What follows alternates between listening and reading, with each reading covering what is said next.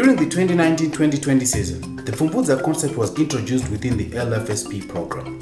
The concept is being implemented across all LFSP clusters in Manicaland, Midlands, and Mashonaland. The Pfumvudza concept was conceptualized and pioneered by Foundations for Farming in Zimbabwe.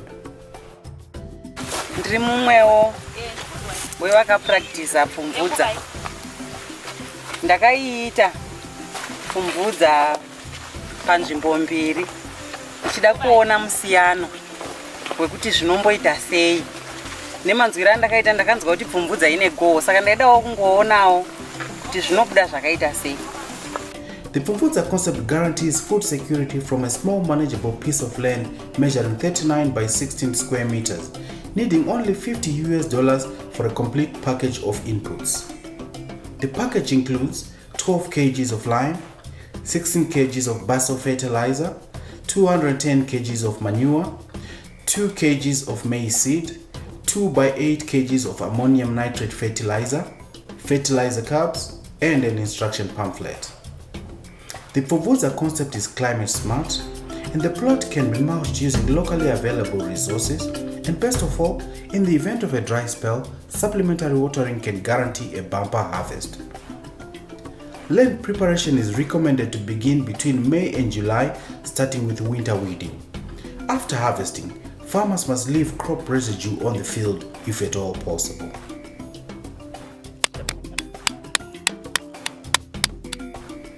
Mark out a straight line measuring 39 meters at one end of the field up and down the slope, and another one measuring 16 meters from the first one measuring 39 meters. Place small pegs or mark the soil along these lines at the desired spacing of 75 centimeters, giving a total of 52 pegs or marks per line, translating to 52 rows. Stretch strings across the field and slope from the peg at one end to the corresponding peg at the other end to mark out the planting row where you will dig planting stations. Along the planting rows, use a measuring stick or string, wire or chain marked at the appropriate spacing of 60 centimeters. The marked station, spaced at 60 centimeters apart, will total 28.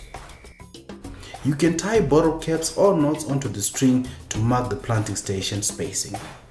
Use a hard covered hook at the four corners of the plot to ensure that the plot is a true rectangle with 90 degrees at each corner. Stretch the rope across the prevailing slope using the two pegs to anchor it. Keep it well clear of the ground so it remains straight in spite of trash and clothes brought up during the digging of the basins.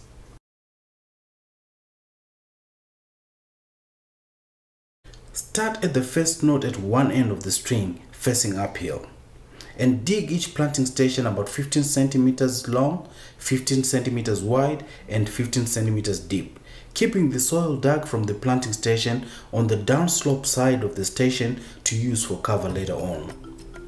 When the planting stations for that row have been made, use the sticks to measure 75 centimeters to the next row.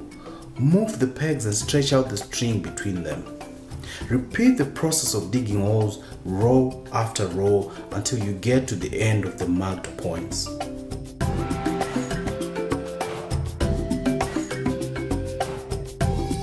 Both organic and inorganic fertilizer can be applied soon after land preparation and before the rains, normally from September to November. It is recommended that soil samples be taken to inform lime and fertilizer application rates. Spread lime cup number 5 at the bottom of the planting basin and place 1 times 350 milliliters tin of compost or manure in the planting basin.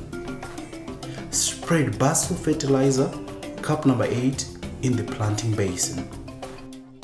Place a layer of soil over the fertilizer before seeding. Use a hoe to partly fill the planting stations with clod-free soil from the pile next to the planting station.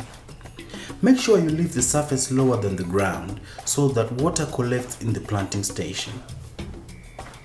Planting should be done immediately after the first effective rains that fill the planting station and when the planting station is still moist. Effective rain is essentially defined as rain that fills the planting basin or a rainfall event of 20 mm for sandy soil and 30 mm for heavier soils.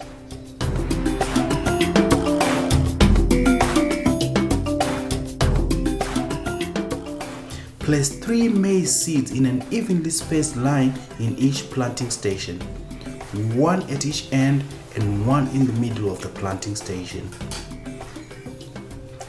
Cover the wall with 5 centimeters of the remaining heaped soil next to the planting station, leaving a level surface. Make sure no stones or heavy clothes cover the seeds, otherwise they will not be able to push through to the soil surface. After covering the seeds, the soil should be compacted lightly to ensure good contact between seed and soil so that the seed can absorb water quickly. Apply mulch over the planting station to minimize moisture loss and drying of soil and prevent capping. Try to finish planting a field in one day. Leave the mulch cover intact between the planting stations. Mulching is a fundamental principle of conservation agriculture and is probably the biggest difference from conventional practice. Keeping the soil covered as much as possible, or mulching, means the spreading of crop residue like stover, dry grass, and leaves, and other dead plant material on the field. Live mulch is also an option. Leave crop residue on the field after harvesting if at all possible. Cut down stalks flat and spread them out as evenly as possible. Allow livestock to graze, but grazing should be controlled so that at least 70% of surface cover remains.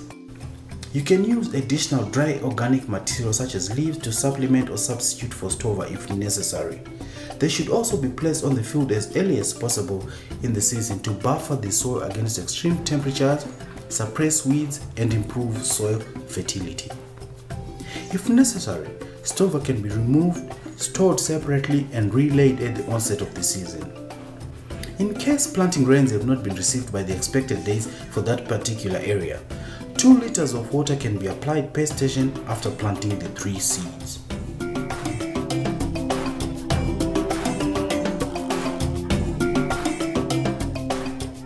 Weed plots thoroughly and on time. When mulching is done well, weeds can be effectively smoothed and you may only need to pull out the few odd weeds that may grow through the mulch. Do winter weeding after harvesting between May and July. Winter weeding is done before planting station preparation. It may also be necessary to do pre-planting weeding immediately before planting. Do post-plant or first weeding about 2 weeks after planting. Complete weeding of the plot in 1 or 2 days. Weed before weeds flower. A second weeding may be necessary 6 weeks after planting, before top dressing. Do post top dress weeding so that the benefits of the fertilizer go to the crop and not the weeds. Whilst weeding, stand between the rows to avoid compacting the planting stations. Weeds should be pulled out carefully or cut at the surface and not dug out. Use the wall as a cutting knife rather than a digger so as not to disturb the soil. Where herbicides are used, apply pre and post emergence herbicides as needed. Thin 2 to 3 weeks after emergence by removing the weakest seedling. Leave an average of 2 seedlings per planting station. If there are 3 plants at a station, thin to 2. If there are 2, no thinning is done. In the event of good germination, resist the temptation to leave 3 seedlings per planting station, as this will result in a lower yield. Do not transplant or gap fill.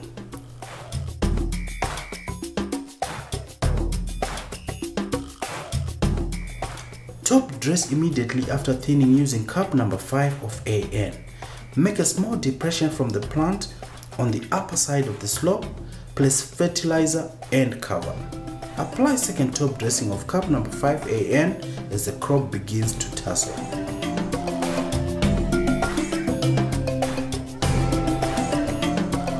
Scout for fall armyworm and stalk borer at least twice a week. Crush fall armyworm eggs and larvae. This is quite possible given the small area of the Pfumvudza plot. Treat for maize stalk borer.